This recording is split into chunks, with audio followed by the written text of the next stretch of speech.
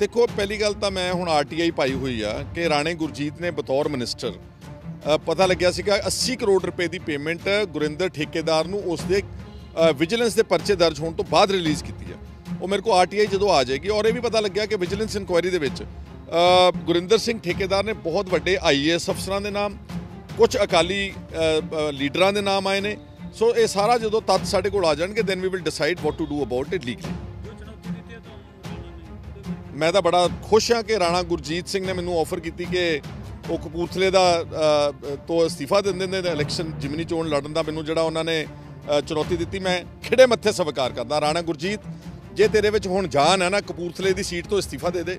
ਤੁਸੀਂ on record ਹੋ television ਤੋਂ ਤੇ ਜੇ ਨਹੀਂ ਅਸਤੀਫਾ ਦੇਣਾ ਤਾਂ ਫਿਰ ਮੁੱਛਾਂ ਆਪਣੀਆਂ ਥੱਲੇ ਕਰ ਲਾ। ਦਾ ਰਾਣਾ ਗੁਰਜੀਤ, ਜੇ ਤੇਰੇ ਵਿੱਚ ਹੁਣ ਜਾਨ ਹੈ ਨਾ, ਕਪੂਰਥਲੇ ਦੀ ਸੀਟ ਤੋਂ ਅਸਤੀਫਾ ਦੇ ਦੇ।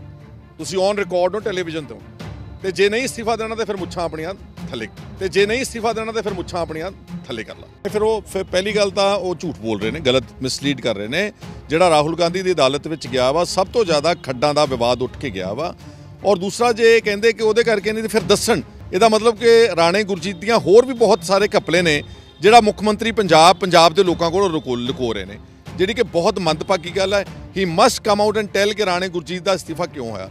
ਰਹਿ ਗਈ ਗੱਲ ਕੈਪਟਨ ਅਮਰਿੰਦਰ ਸਿੰਘ ਰੇਤ ਖੱਡਾਂ ਦੇ ਮਾਮਲੇ 'ਚ ਸ਼ੁਰੂ ਤੋਂ ਬਚਾ ਰਹੇ ਨੇ ਕੈਪਟਨ ਅਮਰਿੰਦਰ ਸਿੰਘ ਨੂੰ। ਔਰ ਮੈਂ ਪਹਿਲਾਂ ਵੀ ਕਿਹਾ ਵਾ ਤੇ ਮੈਂ ਹੁਣ ਵੀ ਕਹਿ ਰਿਹਾ ਕਿ ਅਸੀਂ ਹਾਈ ਕੋਰਟ ਮੂਵ ਕਰ ਰਹੇ ਹਾਂ ਸ਼ਾਰਟਲੀ। ਅਸੀਂ ਹਾਈ ਕੋਰਟ ਦੇ ਵਿੱਚ ਸੀਬੀਆਈ ਦੀ ਜਾਂਚ ਮੰਗ ਰਹੇ ਹਾਂ, ਕਿਉਂਕਿ ਇਸਤੀਫਾ ਕਾਫੀ ਨਹੀਂਗਾ ਇਹਦੇ ਵਿੱਚ ਠੱਗੀ ਠੱਗੀ ਕਿਸ ਨੇ ਮਾਰੀ ਆ? ਗੁਰਿੰਦਰ ਸਿੰਘ ਠੇਕੇਦਾਰ ਜਿਹੜਾ ਨਹਿਰੀ ਵਿਭਾਗ ਦਾ 1000 ਕਰੋੜ ਦਾ ਜਿਹੜਾ ਸਕੈਮਸਟਰ ਆ 5 ਕਰੋੜ ਰੁਪਏ ਤਾਂ ਉਹਦੇ ਲੱਗੇ ਹੋਏ ਨੇ। ਇਹਦੇ ਵਿੱਚ ਪਤਾ ਲੱਗਣਾ ਚਾਹੀਦਾ ਕਿ ਕਿਹੜੇ ਕਿਹੜੇ ਆਦਮੀ ਨੇ ਜਿਨ੍ਹਾਂ ਨੇ ਕਾਲਾ ਧਨ ਬੇਨਾਮੀ ਟ੍ਰਾਂਜੈਕਸ਼ਨਸ ਕੀਤੀਆਂ ਨੇ।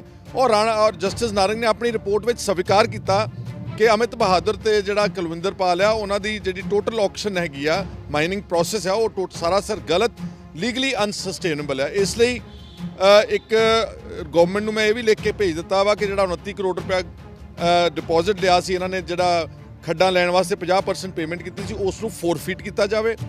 ਅਗਰ ਕਿਤੇ ਇਹਨਾਂ ਨੇ, ਕਿਉਂਕਿ ਅਮਰਿੰਦਰ ਸਿੰਘ ਹੁਣ ਹਰ ਹੀਲਾ ਵਰਤ ਰਹੇ ਨੇ ਕਿ ਜੇ ਮੈਂ ਰਾਣੇ ਨੂੰ ਵਜ਼ਾਰਤ 'ਚ ਨਹੀਂ ਬਚਾ ਸਕਿਆ, ਘੱਟੋ ਘੱਟ 29 ਕਰੋੜ ਰੁਪਏ ਉਹਦਾ ਵਾਪਸ ਕਰ ਦਿਆਂ ਅਗਰ ਗਵਰਨਮੈਂਟ ਨੇ ਉਹ ਵਾਪਸ ਕੀਤਾ we will take them to task we will move the high court again on this issue ਇਸ ਲਈ ਇਹ ਜਿਹੜਾ ਅਮਰਿੰਦਰ ਸਿੰਘ ਦੀ ਹੁਣ ਇਹ ਨਵੀਂ ਗੱਲ ਬਣਾ ਲਈ ਕਿ ਜਸਟ ਬਿਕੋਜ਼ ਉਹ ਆਪੋਜੀਸ਼ਨ ਨੂੰ ਇਸ ਦਾ ਕ੍ਰੈਡਿਟ ਜਾਂ ਸਿਰਾ ਨਹੀਂ ਦੇਣਾ ਚਾਹੁੰਦੇ, ਇਸ ਲਈ ਇਸ ਤਰ੍ਹਾਂ ਦੇ ਮਨ ਘੜਤ ਗੱਲਾਂ ਕਰ